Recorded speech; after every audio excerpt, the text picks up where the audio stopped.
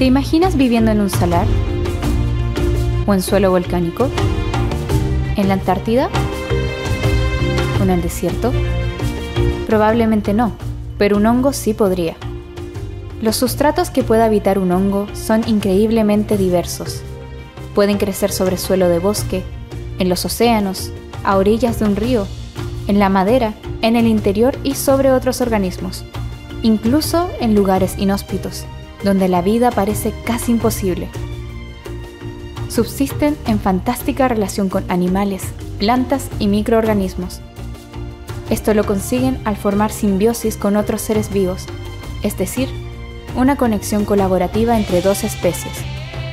Así, hongos y otros seres vivos sostienen un flujo de nutrientes y agua que les permite crecer y desarrollarse en conjunto.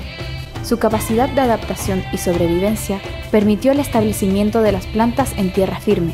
Actualmente sabemos que alrededor del 90% de las plantas terrestres se asocia a diferentes hongos para obtener sus nutrientes y aumentar su área de absorción de agua. En otras palabras, sin los hongos no existiría la vida como la conocemos.